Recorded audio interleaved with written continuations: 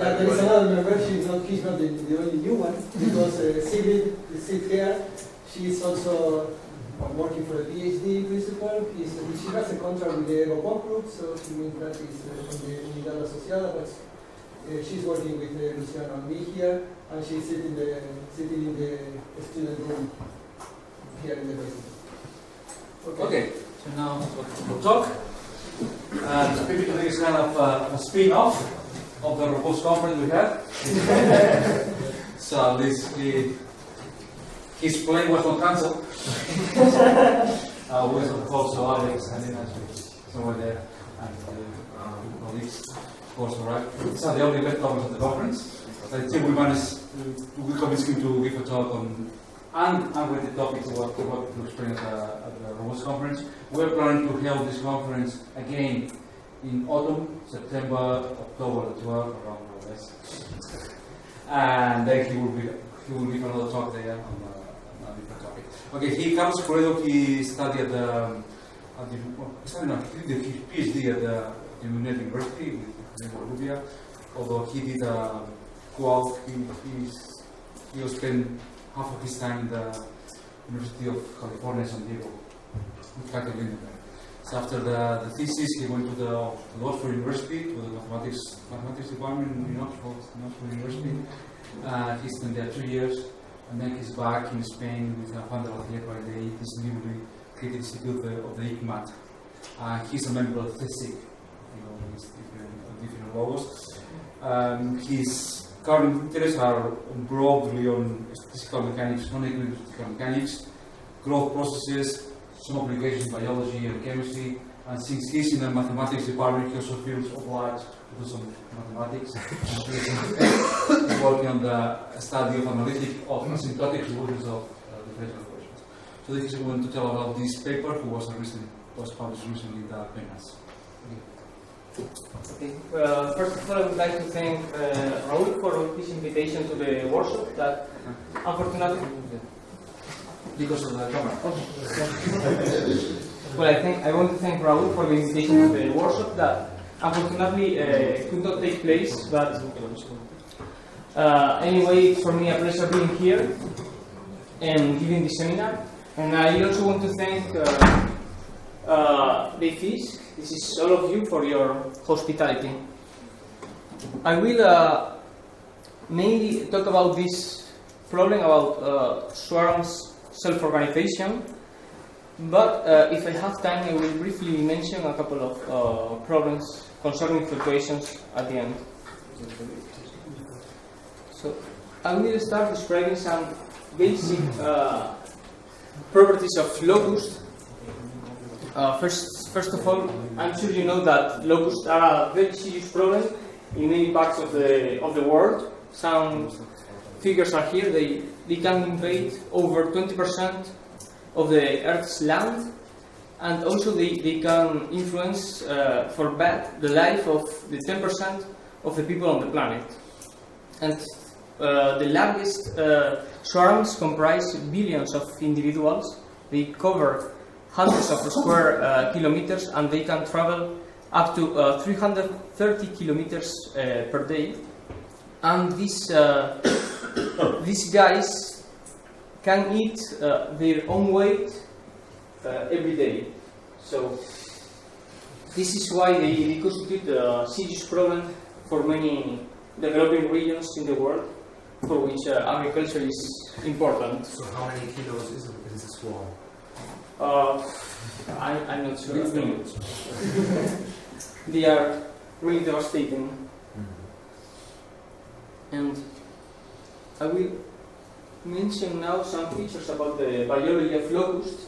That I should say that I'm a physicist, not a biologist, so I might become, I may become imprecise in some in some points. Where locusts can be found in nature in two phases: the gregarious phase and uh, the solitary phase. In the gregarious phase, they like other locusts and they try to meet and uh, this allows uh, the formation of swarms. In the solitary phase, which is uh, most usual, they dislike different locusts, so swarms are not possible. uh, there is, of course, this uh, change in behavior, but also young locusts uh, change their appearance. Even the, the color for young locusts is different in the gregarious phase and the solitary phase. Now, the natural question is, of course, how can locusts change from one phase to the other? Uh, they change phase uh, by touch. And by touch, I mean physical touch.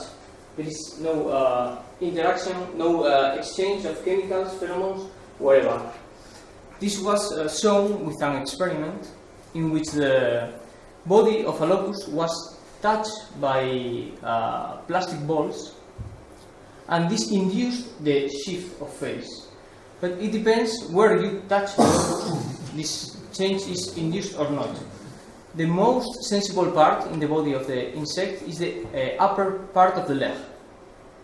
By hitting the locus here, you, you may uh, change its phase from the solitary one to the gregarious one. Uh, also, the smell and sight uh, are not actually so important. If one locus sees other locus or smells other locus, or I mean, uh, as was shown uh, in a different experiment, there is almost no change of phase. However, if they act together, you find that there is a, a measurable uh, phase change here. But touch on its own is able to be, it's much more efficient than uh, smell and sight acting at the same time. And uh, this explains uh, how the uh, locust became gregarious and like each other, form swarms, but uh, why swarms appear in the field and why they, they move. Because Sorry, there's no. If you touch it once, it changes from one face to the other. No, then no, you touch it again, it changes back, or, to- or it stays in one face. you have to repeatedly, you have to repeatedly hit the leg Ah, okay, of the okay. locust. So, uh, for instance, uh, a storm may change the face of a locust. The raindrops hitting on the legs may change the face. But should be some repeat. Oh, and how long is the the lifetime of the face? Uh, once the face is changed, y- if you uh, keep the locus isolated, it will be back to the solitary face after uh, couple of days probably. Ah. But I'm not sure about this, but I, I can give you reference. And, uh, well, um, how you can explain then that uh, swarms are formed in the field? This uh, was also done uh, with an experiment by, oh, sorry, based on the on this uh, phenomenology. The basic idea is that uh, when you have a lot of resources, instance, you have a lot of rain and a lot of food, the number of locusts increases. Then, if somehow the food is reduced, a locusts try to go to the few places where they find food, the uh, density increases, they touch each other, and the phase changes, they form a swarm. And this and the Does swarm? Exactly. ¿Qué, qué es swarm? swarm is enjambre. It's the uh, the collection of all locusts. If you have uh, the, the locust dispersed, uh, although the density might increase, you don't have a real uh, change of phase. But uh, if you have uh, co- uh, the food concentrated, so locusts uh, come more and more together, then this uh, this sharp change from the solitary phase to the gregarious phase. So this is this is how it explains the phenomenology what what's found in the field. Uh, food starts disappearing, and locusts they come together for the remaining food. They touch each other and change phase. A swarm is formed. Just let me uh, say that in this case, the word phase has nothing to do with uh, phase transition in physics. This is the phase is the the word biologists employ for distinguishing between between locusts. But this is why I'm using this word. It has nothing to do with uh, phase transition, phase transitions in physics. And one, why do they move? Okay, they start moving because they don't have much food. So somehow this is implicit in the behavior of the gregarious locust. They uh, try to look for food, so they start walking. But also because they are cannibals. And this was also found, found in the field, in this picture. And uh, apparently, one of the reasons for the movement is that they try to, uh, to go, to escape from the locust behind and to follow the, the locust in front of them.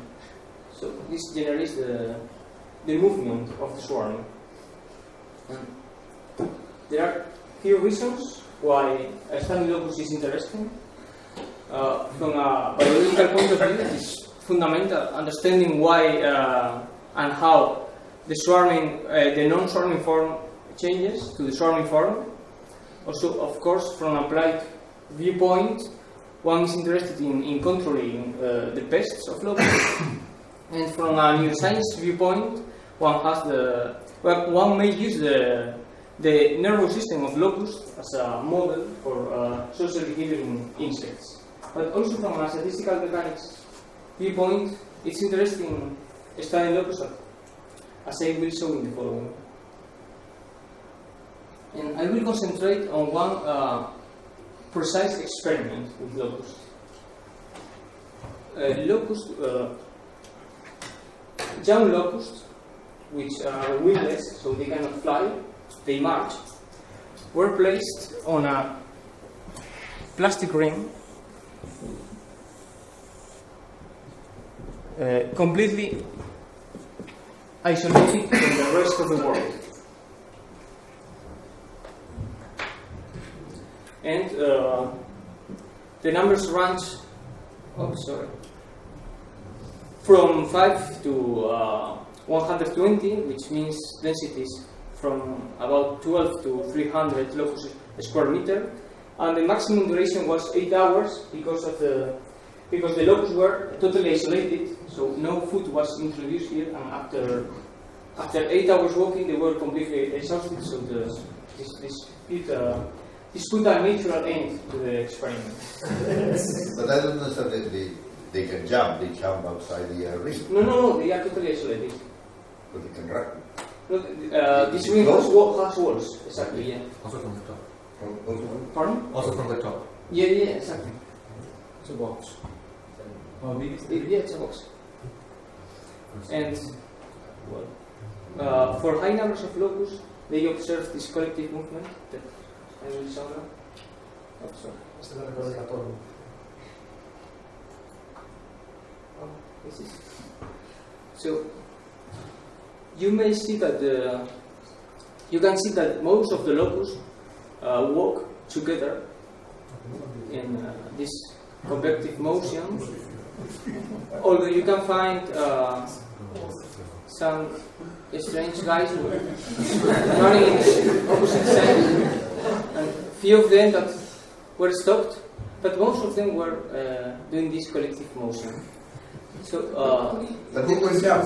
I don't see them, I don't see them jumping. no, no, they are young locusts, so they don't have flights. Apparently, they only can march. So a special kind of locust. Young. Okay.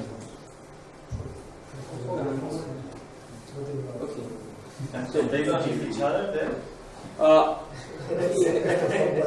in this uh, in this particular experiment, uh, as far as I know, they didn't uh, appreciate any uh, strong effects due to uh. So if that happened, it was very rare, very isolated. Okay, and these are the results in terms of uh, mean velocity. This is the well uh, alignment, but this is uh, up to normalization the same of, as average velocity. For a small number of small numbers of locusts, this is uh, six, seven locusts, you a complete uh, disorder, uh, a stochastic evolution of the mean velocity. But for uh, well, for large number of locusts, which is the, the example we have seen, after a short transient, they reach an ordered state, and they walk coherently for the for the whole duration of experiment.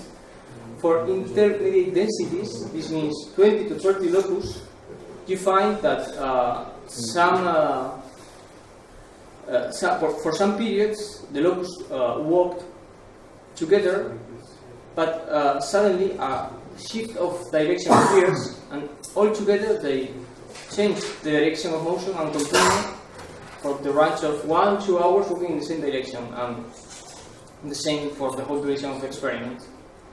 If you look at the uh, trajectories for the individual locus, what you see is uh, totally random trajectories for small numbers of locus. Uh, what, what are you plotting here? pardon? What are you plotting in the x In D. Here, No, D, D. uh, here. These are the trajectories. Position in degrees. Position in degrees. Right, Position in degrees. This, yeah, this is time and this is degrees. So the movement is random. But for intermediate densities, you see that uh, order starts to appear, and for high densities, you uh, see a, uh, well, the, the coherence in the motion is apparent, although you may also see these uh, trajectories of locus that are stopped, but they are uh, evidently the minority of them. The movie was real time, was it? Yeah, uh, if I'm not wrong, it is. And uh, to explain this phenomenology, in this same article, they adapted a model introduced by Vicsek and collaborators, and the model uh, looks like this. You have that the position of the individual of the ith uh, locust is uh, actualized with the velocity, and the velocity obeys a mm, nonlinear uh, stochastic differential equation. Uh, we have a drift term and a stochastic term, which is additive and uh, takes into account the errors that the locus make when trying to adapt their velocity to that of their neighbors. The uh, drift, uh, well, in the drift here we have the g, which is a piecewise linear function of the mean velocity. This quantity is the average of the uh, velocity of all the locus that lie within a certain radius epsilon of locus i. Drawing here with one picture. We have locus, locus i here. huh? and certain radius epsilon. So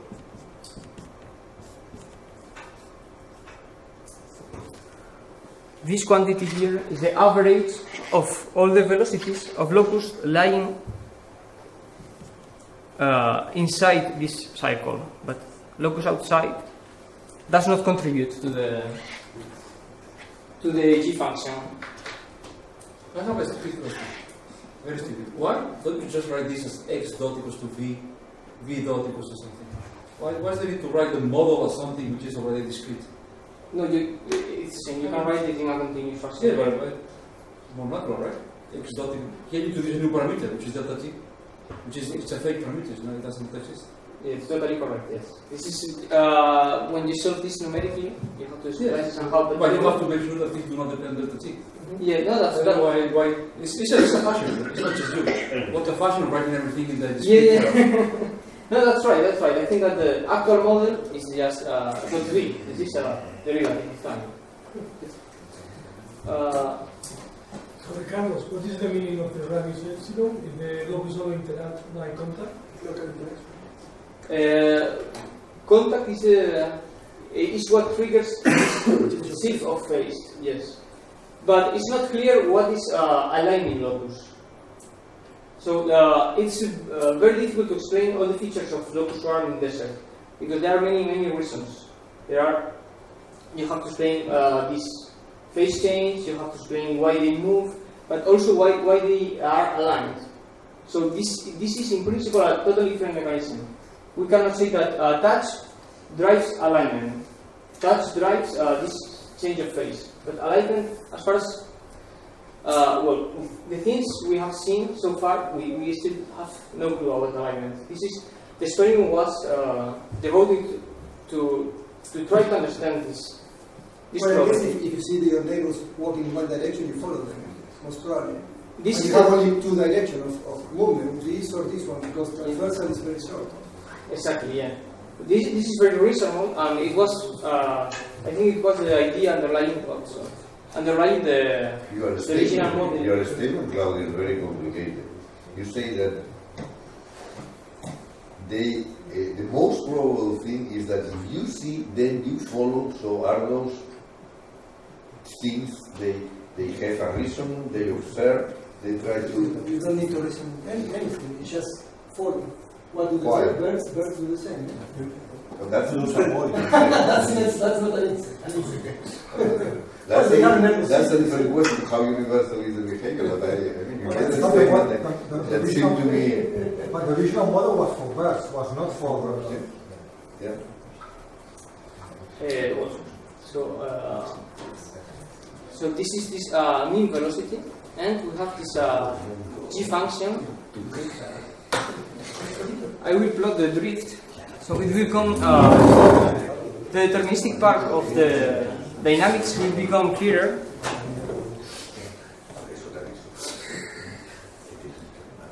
Okay, this is a drift. So one finds two stable fixed points here and one unstable fixed point which is the region. Uh, you find that the drift is piecewise linear with a discontinuous at the, uh, discontinuity at the origin because the function g is chosen to be discontinuous. But uh, basically, the deterministic dynamic says that uh, locus try to adjust their velocity to uh, that of their neighbors and uh, to go either to plus one or minus one velocity. For uh, of course a normalized velocity. They uh, they solved this model numerically and they found uh, adjusting the of course the parameters that for uh, a small number of locusts similar to those in the experiment the mean velocity is totally random for large numbers of, of locus or self-propelled particles. You find order and coherent motion, and for uh, intermediate numbers, you find that this coherence in the movement is uh, uh, you find in the middle of, of them this uh, shifts of direction. So in some sense, this may uh, explain or, at- or at least this uh, reminds of the behavior of the phenomenology of the experiment. And a few more comparisons that uh, they did in this in this paper. The mean velocity in the experiment for uh, a small number of locusts were kind of random, and then they went to uh, either plus one or minus one. And in the model, you find this kind of uh, bifurcation, if you allow the term. Also, the time spent in the order phase increases uh, monotonically uh, with the number of locusts, both in uh, experiment and model.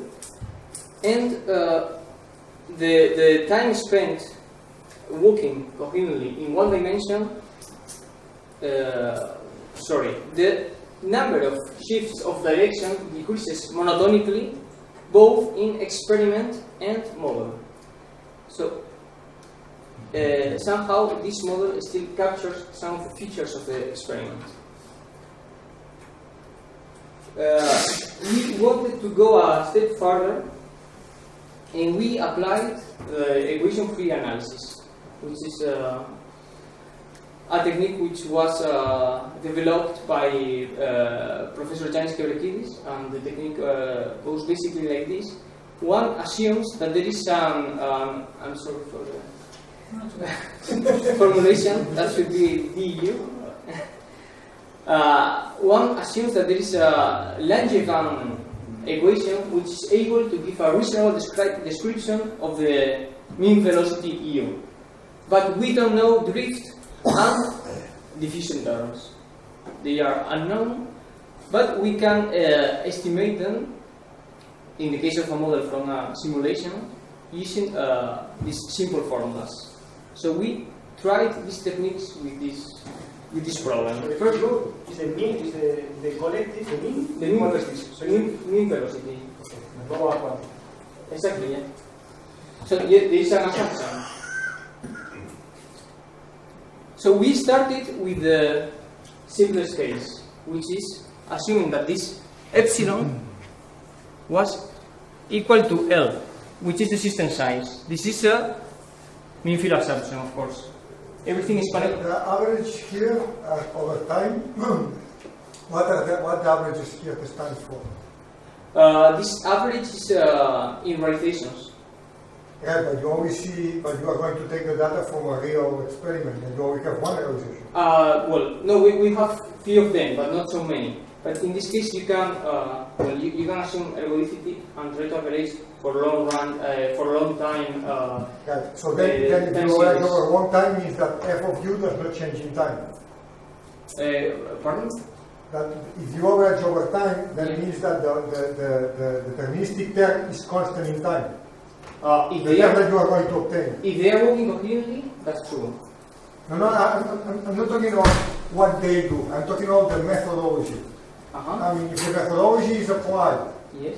uh, in such a way that to compute f of u, you average on time, Yeah.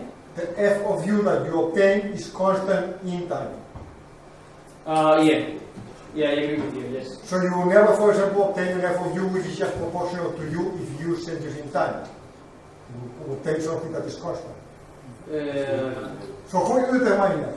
Okay, let- let's, let's, let's keep explaining the, the plots and probably this will be. Yeah. Look, this is uh, here we don't have this this problem because this is uh, with oh, sorry.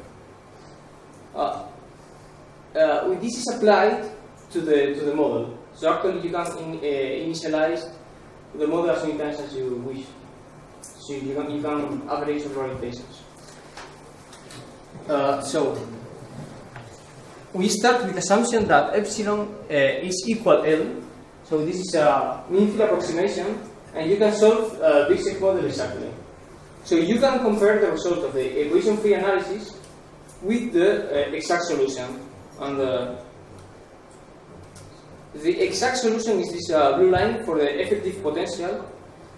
You find here that at the origin there is a cusp. This is this is non-differentiable, and this comes, of course, from the discontinuity of the drift. And uh, one finds very good, uh, very good agreement with the equation-free computed potential, even at the cusp. Of course, one finds again uh, a good agreement with the stochastic probability distribution, and uh, switches are explained in terms of uh, jumps from one potential, from one well of the potential to the other. So the mean switching time is the mean passage time in the double well potential. Computing this mean switching time uh, analytically, the blue line, and numerically with this method, one finds again a very good agreement. Well, let me understand, going back to the question by Pierre, how do you find this as a function of Uh, this uh, this f, you mean? Yes, Uh, you- you, you compute the average and you get a number f. Yeah, What you the, what about the u? yeah, initializing the system in many different states. Okay, that's what That's that's how you do it. And uh, the next step is analyzing the model in a different regime. Say epsilon is much smaller than L, which is a local interaction, and uh, results are noisier. But again, one finds uh, this uh, average or, or this effective diffusion is roughly constant, and the drift is a is a cubic. So we had at the beginning this piecewise discontinuous drift. Now we have something which is uh, well reflects the same uh, the same sort of dynamics, but is somehow uh, regularized by the local interaction. which is here. And one may uh, compute the uh, stationary probability distribution from the uh, from this technique, this equation-free technique, which is the red curve. And uh, the blue histograms are simulations of the model, and there is a reasonable agreement. And also the mean switching time from the direct uh, simulations of the model and from the uh, from the equation-free analysis, there is a, a reasonable agreement again, and we find that the, the mean switching time, as expected, grows exponentially with the number uh, of locus n. So the last step is using this technique uh, in the model, in the, with the actual data uh, taken from the experiment, and uh, see what happened. In this case, the drift is again uh, cubic, uh, which is uh, again we have something which is noisier, much noisier, but somehow this uh, this plot reflects the the same character as the as the one found in the in the model. However, the diffusion is quite different, and it, it somehow resembles a, a parabola, some quadratic function rather than a constant. If one uh, uh, plots the average potential, one finds something like a double well potential, which is uh, what we what we were uh, expecting for the uh, from the from this kind of models. And finally, the mean switching time in uh, the scores are experimental data, and the, this is the equation-free mean switching time. So a reasonable agreement again with again we find this uh, exponential growth of the switching time with the number of locus. Yes, so- sorry, Carlos. I think in the, in the experimental curves, it was the, the axis, the logarithmic axis was exactly in the other, in the other axis. Uh, will you, if, well, if you can, if not, we can discuss it here, but I think in the experimental, in the paper in science, the, the, the growth of the switching time was logarithmic in the not exponential. Uh, well, I don't remember the figures in. in, it's in your presentation. Yeah. Uh-huh. Yeah. Uh, well, it's not really well. So, I mean, the, it's horizontal, the n is the logarithmic scale. N. Yeah. It's, well, it's not a perfect straight line, but then it's, it's n is logarithmic and the, and the changes is, and also the, the, the, Number of changes. this is the opposite scale you are using. Uh, right. It's number of changes. Good time. Sorry? It's number of changes. So it's the Well, inverse study. and you have a time in the other, well, anyway, we can have a look at the end of the, of the doesn't seem, it doesn't seem to be the same curve as, as you are showing. No, no. Uh, it's not necessarily the same. So uh, I don't know which. I'm not the author of this figure, so I, I don't know uh, which data we use for this figure. But We are using for the experiment, you say. we, we use the same. We should use the same data, right? But uh, we started from scratch, so we, we didn't use the data of this particular figure. So I, I'm not sure about the uh, the result here, but you find uh, all, uh, one can expect that the results were uh, very noisy, but uh, from our results it's quite clear that uh, this is an exponential growth with number of locus of mean switching time. So does your method allow you to to get the epsilon, for instance, or the or something, some information about? Mm, no, because we only get this. Uh, we only get the effective uh, Langevin equation. Yeah. So we, we lose the it's a constraint technique.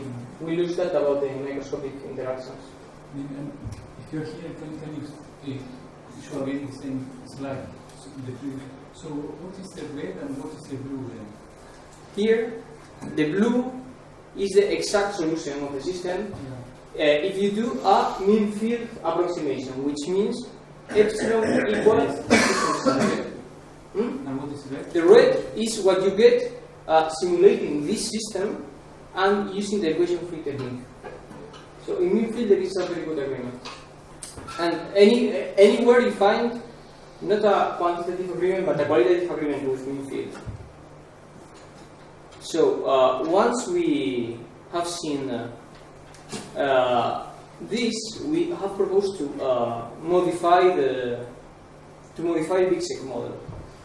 And well, because the drift uh, agrees reasonably, we left everything unchanged, but the noise. And instead of using an additive noise, we use a multiplicative noise, which is a quadratic function. In this case, we use the uh, mean velocity in this uh, within this uh, circle of radius epsilon. And physically, this means that uh, locus they are not only trying to adjust the velocity to that of their neighbors, but also uh, their stochasticity. So if they are aligned, uh, the noise is reduced. The randomness in the movement is reduced. And where they are unaligned, the randomness of the movement increases of the individual locus. If one analyzes the, well, runs the simulations for this uh, modified model, one finds that for the diffusion, uh, the effective diffusion, one again finds this uh, parabolic uh, profile and the cubic uh, for the the, the cubic for the drift and uh, the, uh, ex, the exponential dependence of mean switching time with number of locus. That showed actually a reasonable agreement with uh, with experiment. This is the experiment. this light blue one and the the blue dark blue squares are the mean switching the uh, equation free mean switching time. This is a linear match. And uh, apart from this comparison with the diffusion, one also may uh, take a look uh, at the uh, realizations of the process. so this is the average velocity of uh, uh, realization of the simulation of the Vicsek model. And in this case, we have uh, we have the, the real data and in uh, finally it's the realization of the average velocity of the improved or revised uh, model. For the original uh, for the original basic model, the switches are uh, not uh, much noisy. They are quite straight. How many locus are you using there? Uh, in this case, uh, This this, is showing there. well, uh, actual locus is in this case, which if I remember well, this is uh, for 25 locus. But uh, in this case, we use the same number, of course, but you have uh, parameters you can adjust. Uh, in, in this case, this is actual data. You find that the switches are not straight but very noisy. And again, uh, for the revised model, you find that the switches are noisy again. And of course, this, this is uh, very clear from this dependence of the, uh, of the multiplicative noise when the when they are uh, the loops are uh, unaligned. This is in the neighborhood of zero uh, average velocity. The noise increases. So this is why the paths uh, become noisier in this case. And well, by visual inspection, one finds more agreement in uh, uh, in for the risk model when compared to the actual experimental data. And just uh, let me say that movement in groups uh, it's it's good for for the animals. It's uh, it, it is quite clear in biology that collective movement is favorable, favorable from an evolutionary viewpoint. This mechanism helps the group uh, stay aligned. For the same uh, amount of noise, that if we use this additive noise, we will find that the coherent, uh, the aligned state will uh, will last longer.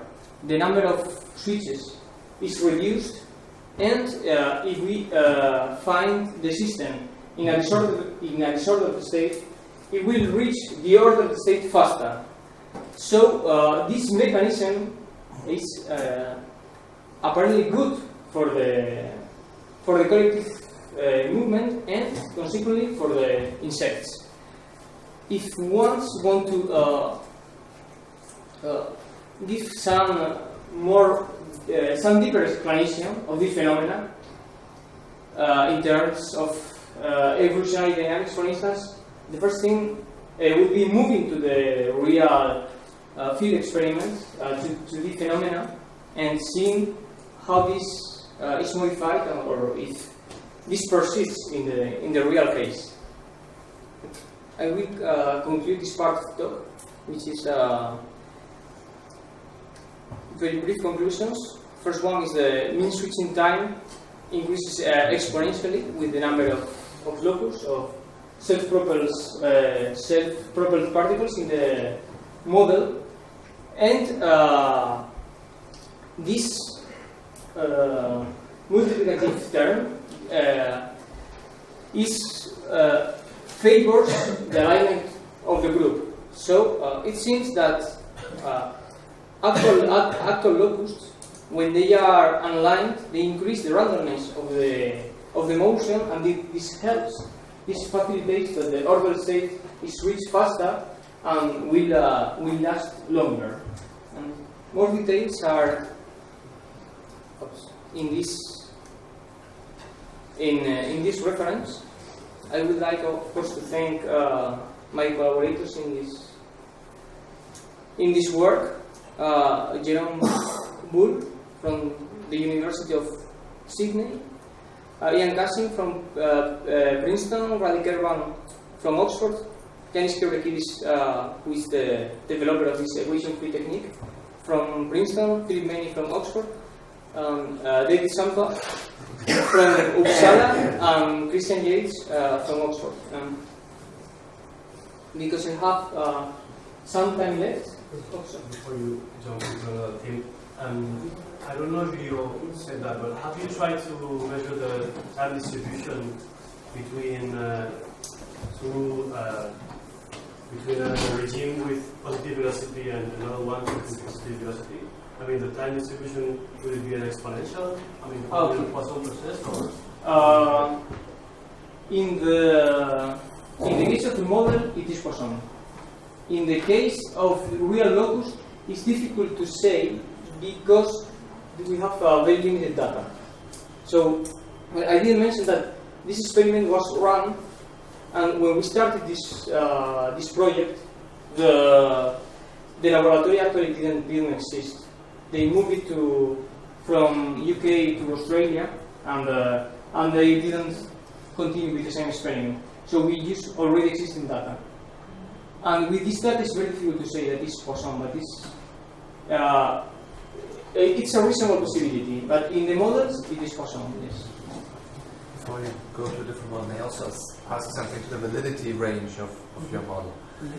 Um, I don't know whether it will play a role here, but uh, from, from traffic modeling, you know that also if you increase a certain density, you get kind of compression waves, which can even lead to a stop uh, of, uh, of moving uh, in a certain direction. Does this uh, occur in, in the experiments here as well? And would that, uh, for example, break this, this exponential dependence that, that you find with the, with the switching times? Well, uh, what we observed in the experiments is that the locus are kind of evenly distributed in the ring. So these uh, shocks or something like this are not observed. This, uh, I don't know if this can be reasonably explained in terms of the biology of the of the insects that they don't like to be so much uh, close to each other. So uh, even in the gregarious phase, they approach each other, but uh, probably not, not, not, not that much to see this kind of, of. But in terms of biological terms, of course more difficult, but in terms of observation, we haven't observed this, this kind of phenomena in the experiments. So, so this uh, you, you call the equation free approach, and you have two formulas to extract the main the drift and the diffusion function, aren't those formulas as standard things? I mean, I, I used them in some papers of mine many years ago, so why do you call that the equation-free approach and Oh, well- explaining that that's something new or, or No, no, I don't call uh, I don't call it equation free. Uh, Yannis called it equation free. Uh, we we haven't introduced this method. We, we just took the method. Yeah, but it, it doesn't belong to Kevrekidis either. I mean, these are just standard uh, procedures Yeah, I, they are in Gardiner's book. I know. Yeah, but uh, why is uh, well the origin of the where, where comes this? Uh, where does the origin of the name come from? I don't know. I, we just took the we just took the method.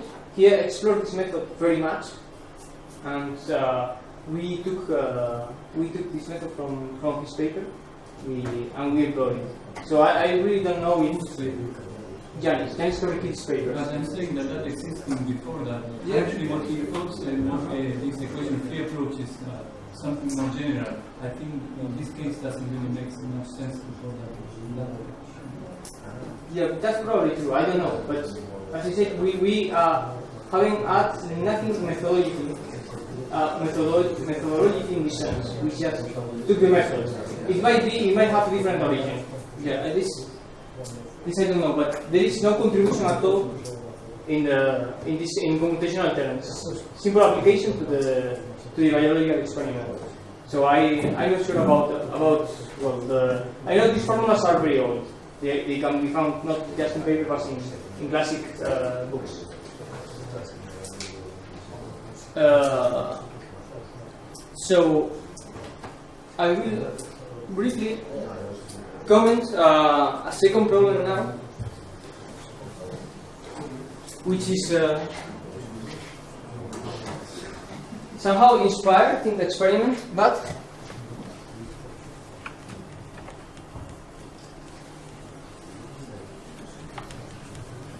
uh, we do not claim that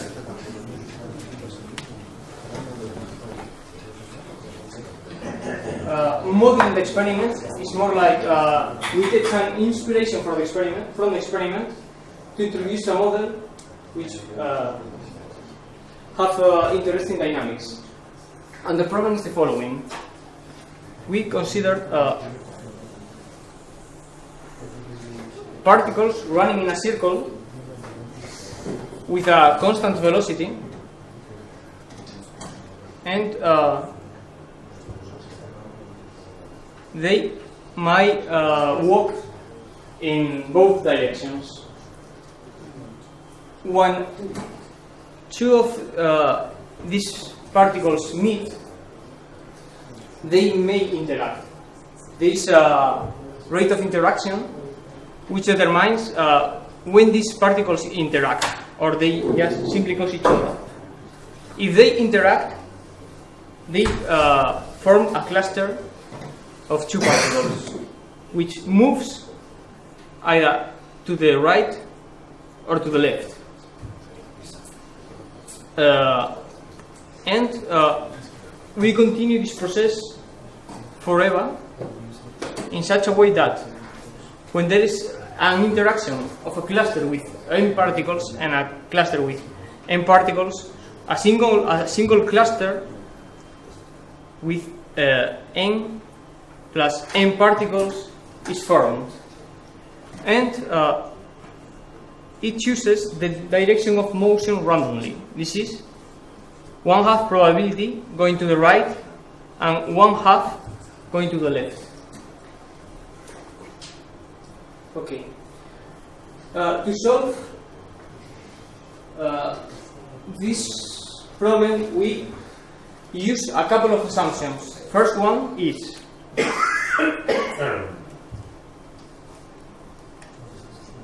that uh, the rate of interaction is small enough.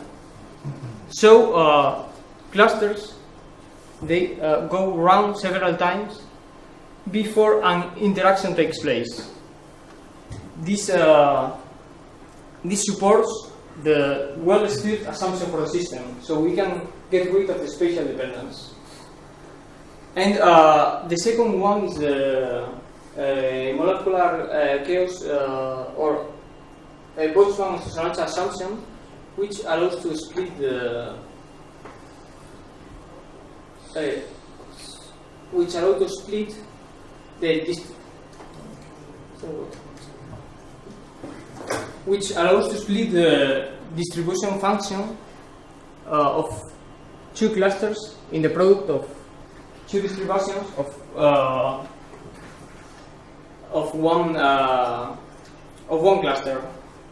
So this leads uh, to this Smoluchowski equa- equation. So the position of the, the cluster is the position of the center of mass, and the radius is. They, they are uh, punctual actually. But I mean, they are punctual, but they are they, they are running one dimension. So. Mhm. Okay, okay. and uh, so uh, this allows us to uh, write this uh, two, spec- uh, two species Smoluchowski equation. Uh, and this the kernel is the one I mentioned before.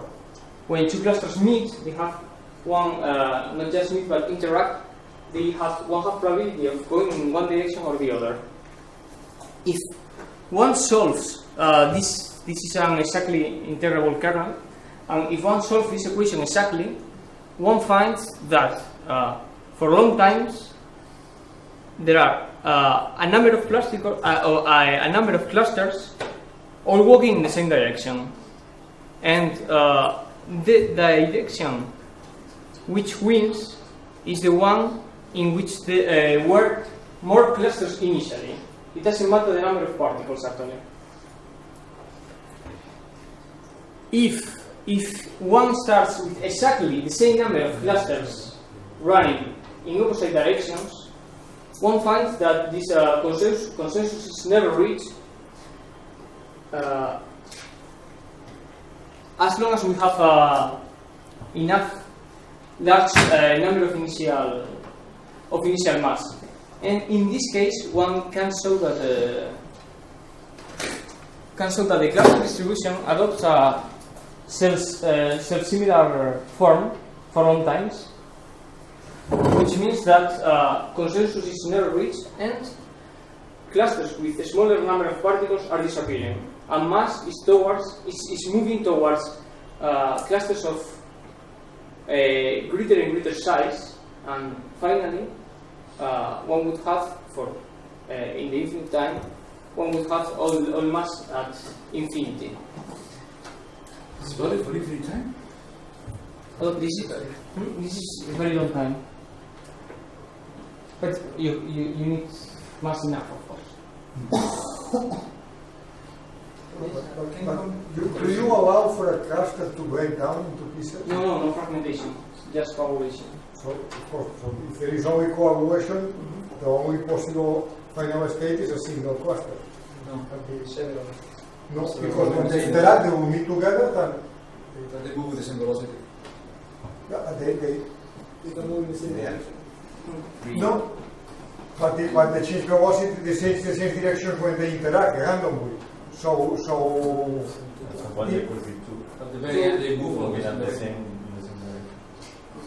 And this is what you find, that they have several clusters moving in the same direction, except in the where the uh, initial conditions are exactly the same. When you find this uh, self-similar phenomenon, that is uh, you're going uh, towards one cluster of infinite size. And uh, yes, the last. Uh, the last slide is considering uh, the same model with a different direction kernel, which is exactly integrable. In this case, the direction of motion uh, is selected uh, with a greater probability, taking into account the majority of the direction of the uh, the majority of the particles traveling when the interaction uh, between clusters takes place. Uh, in this case, which apparently implies a, a stronger trend towards order, in this case, uh, consensus is never reached, independently of the initial condition. And the number of uh, particles, not clusters, but the number of particles uh, traveling in each direction try to curate uh, for long times. And again, we have the same uh, self-similar phenomenon. But in this case, we uh, we don't have an exact solution of uh, for the profile for the scaling function. In the previous case, it was an exponential. In this case, uh, the profile has to be found uh, has to be has to be found numerically, but both uh, both self-similar uh, asymptotics can be obtained actually rigorously. In this case, we need just uh, uh, should be computationally assisted for uh, computing the profile. And just uh, I would like to thank my collaborators in this uh, in this case, Fabricio Macià from the Technical University of Madrid and Juan Velázquez, who's at the CSIC, the same institute where I am. And I have the third story, but I think I will keep it for different moment. Thank you for your attention.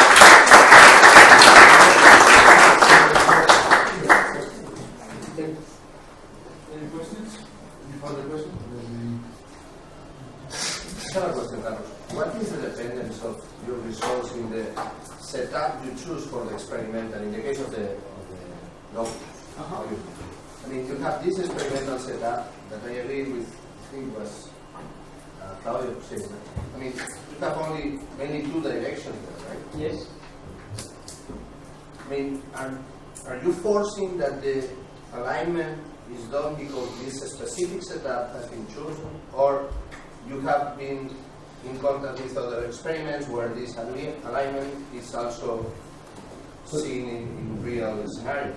Uh, aligning uh, happens in the field. Uh, that's right. In actual uh, 2D, I mean in 3D for flying insects. Uh, but in this case, well, the experiment was performed in this screen. Yes, well, it's some, of course, uh, idealized experimental situation. We wanted to map the situation uh, to 1D or quasi 1D. Uh, the lightning step is connecting uh, the actual results that were get in this lab to the to what is seen in the field. But alignment uh, in uh, It's also seen. hmm? It's also seen in the physics. yeah yeah it, it, it happens in the field. Okay, question. I don't understand the goal of having, okay, you pick the Vicsek model, that is something that has been at least designed for the, as a model for the flyer birds. When you have alignment, you use this model, and then you, this is an approximation, you use another approximation that, that is the mean field approximation of this model. Uh-huh. Then you use another approximation that is the equation-free analysis, Uh-huh. because it's also an approximation of this. And then you compare with the data. Uh, no, well, the, the mean field approximation is done uh, just to uh, check the equation free uh, in this particular case. But we, we don't use the equation free anymore. Then we use actual local interactions for the rest. We use the actual Local experimental data. Well, we analyze experimental data, but uh, for the released model, we use uh, local interactions, not, not mean field. Mean field was a checking of the the revision, this is something, I mean, you, you say, okay, now I will add a multiplicative noise, right? Yeah. And this is something that you take from the model. There is a biological inspiration of this multiplicative noise, or you Yeah. use the multiplicative noise, you see that the data are fitted better, and then you say, okay, the multiplicative way is saying that the locus is doing that. We, what we, we analyze the actual data and we find this, uh, this diffusion. And we proposed a modification of the model, which uh, in principle uh, is not, uh, will not necessarily lead to this diffusion, but then you uh, do the same computational analysis and you find that indeed this uh, multiplicative noise in the model is reflected in this average, in the effective uh, Fokker-Planck equation for the average velocity. But Then it would, you take a biological minimum, right? but it would be possible if, from your experiments, if you follow the individual locus, you would be able to see how, how their stochastic uh, statistics is, no? Well, um, might be. So you would be able to, to justify your multiplicative noise term or not. Mm, yeah, we, we have tried to uh, justify it doing this uh, analysis, this uh, effective Fokker-Planck equation analysis of the model. This, this, this, this will be, I think this can be done, but not for 40 knots, because the, you try to model the, the motion of one locust's interaction with the others. Then you don't know if you should assign any motion to the noise part or to the interaction with the others part. But uh, what he does is only looking at the global velocity. Then the global velocity is only one global velocity, then anything which is not there is on the node. It is- it will not be easy to do for the individuals. Yes. Okay. There are no further questions. Let's start speaking again. We'll be here tomorrow and Friday.